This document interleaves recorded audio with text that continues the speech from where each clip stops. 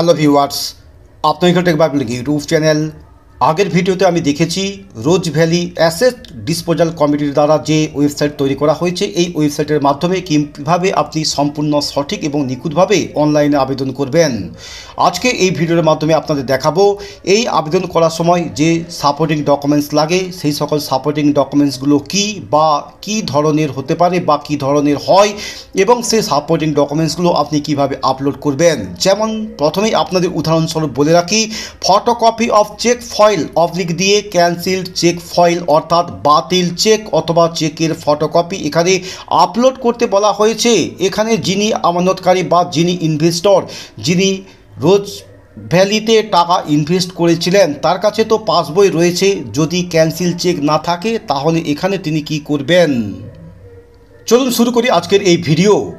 এই ফর্মটা ফিল করার সময় শেষের দিকে দেখবেন একটি ডকুমেন্টসের আপলোডের পেজ দেখতে পাবেন, যেখানে বলে দেওয়া হয়েছে documents to be produced by investors যেখানে প্রথমে বলে দেওয়া হয়েছে অরিজিনাল সার্টিফিকেট অফ ইনভেস্টমেন্ট অর্থাৎ আপনি রোজ ভ্যালি কোম্পানিতে যে টাকা দিয়েছিলেন, সেই সময় টাকা দেওয়ার সময় যে শংসাপত্র বা সার্টিফিকেটটা আপনি পেয়েছিলেন, সেই সার্টিফিকেটটা এখানে আপলোড করতে হবে। সার্টিফিকেটটা আপনি জেপিজি বা পিডিএফ ফাইলে আপলোড করতে পারেন, তবে এই পিডিএফ বা জেপিজি ফাইলের নির্দিষ্ট কোনো ফাইল সাইজ বলে দেওয়া নেই। চাইলেও আপনি একশো কেবি, পাঁচশো কেবি বা ওয়ান এমবি বা টু এমবির মধ্যেও আপলোড করতে পারেন। আপলোড করার জন্য এখানে ব্রাউজ বটনে ক্লিক করে ডকুমেন্টসটা আপনি ওপেন করবেন। তারপর এখানে আপলোড বলে যে অপশান রয়েছে, জাস্ট এখানে আপনি ক্লিক করবেন।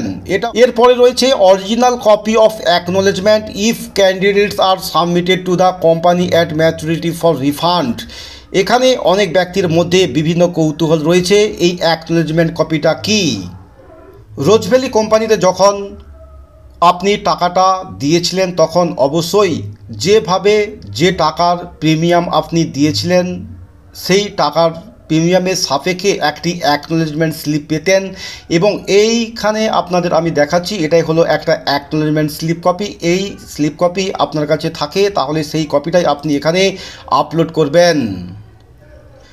এরপর রয়েছে এখানে original identity proof any of the following তবে এখানে আপনাকে কয়েকটি ডকুমেন্টসের কথা উল্লেখ করে দেওয়া হয়েছে, যেমন PAN card passport voter card Aadhaar card driving licence আপনি যে ডকুমেন্টসটা এখানে আপলোড করবেন এবং আপনার কাছে যে অরিজিনাল সার্টিফিকেটটা রয়েছে, সেই সার্টিফিকেটের নামের বানান অনুযায়ী আপনার যে ডকুমেন্টসে রয়েছে, সেই ডকুমেন্টসটাই আপনি আপলোড করবেন। হতে পারে আপনার প্যান কার্ড বা ভোটার কার্ড বা আধার কার্ড ভুল থাকতে পারে।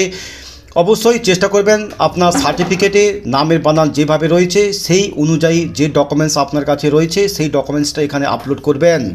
এরপর রয়েছে এখানে অরিজিনাল অফ অ্যাড্রেস প্রুফ এখানেও ঠিক একইভাবে যে কোনো একটি ডকুমেন্টস এখানে আপলোড করতে বলা হয়েছে।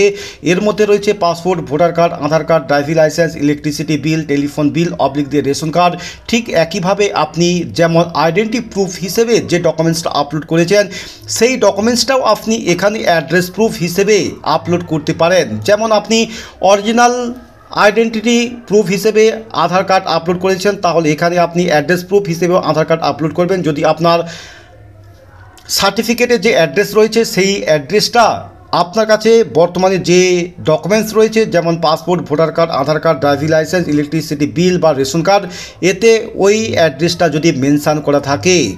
এরপরে রয়েছে এখানে photocopy of the front page of the bank pass বই। এখানে আপনি যে ব্যাংকের মাধ্যমে টাকাটা নেবেন, সেই ব্যাংকের ফ্রন্ট পেজ অর্থাৎ ফার্স্ট পেজের কপি অবশ্যই আপনি এখানে আপলোড করবেন।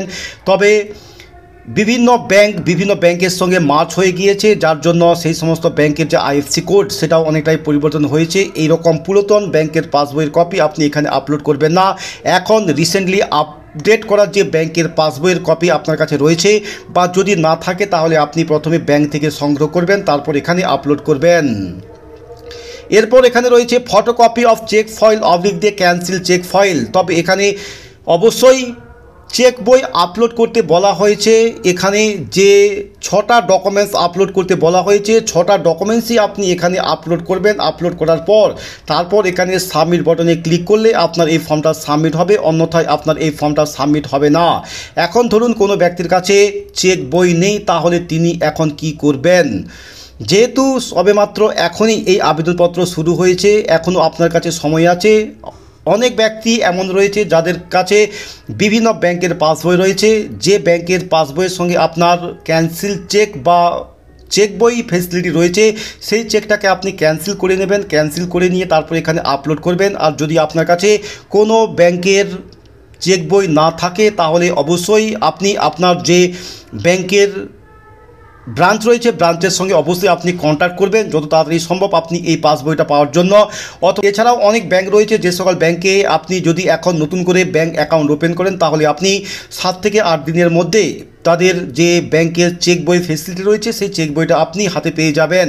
তবে এখানে ফটোকপি অফ চেক ফয়েল বা ক্যান্সেল চেক এখানে আপলোড করতে বলা হয়েছে। হয়তো আপনার কাছে ক্যান্সেল চেক না থাকার কারণে হয়তো আপনি ভাবছেন যে এখানে ব্যাংকের পাসবইটা আপলোড করে দেবেন। যদি এই রকম যদি আপলোড করেন, তাহলে আপনার এই ফর্মটা বাতিল হতে পারে। কারণ এখানে আপনি ভুল তথ্য বা ভুল ইনফরমেশান দিয়ে এই ফর্মটা সাবমিট করছেন। এর আগে অলরেডি আপনাকে বলেই দেওয়া হয়েছে পাঁচ নম্বরে, যেখানে photocopy of the front page of bank passbook upload করতে বলা হয়েছে। সেখানে তো আপনি ব্যাংকের পাসবই আপলোড করেছেন। তারপর এখানে আপনাকে চেক বই আপলোড করতে বলা হয়েছে। সেখানে আপনি কেনই বা এখানে ওই ব্যাংকের পাসবইটা পুনরায় আপলোড করতে যাবেন? এই জিনিসটা অবশ্যই আপনি খেয়াল রাখবেন। এই ফর্মটা ফিল করার সময় এখানে আপলোড সার্টিফিকেটের আন্ডারে আপনার তিনটে অপশান রয়েছে, যেখানে ইনভেস্টর তারপর রয়েছে নমিনি এবং তারপর রয়েছে আদার্স এটা ইনভেস্টরের ক্ষেত্রে আমি দেখালাম।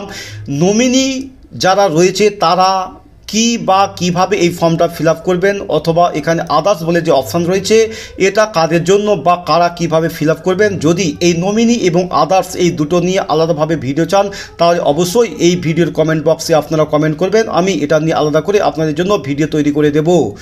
ভিডিওটা ভালো লাগলে অবশ্যই একটা লাইক দেবেন চ্যানেলটা যদি সাবস্ক্রাইব করে থাকেন, তাহলে অবশ্যই রোজ ভ্যালি সংক্রান্ত বিভিন্ন খবরাখবর পাওয়ার জন্য আমার এই চ্যানেলটাকে সাবস্ক্রাইব করে পাশে থাকা বেল আইকনটা ক্লিক করে অবশ্যই অল নোটিফিকেশানটা অন করে রাখবেন।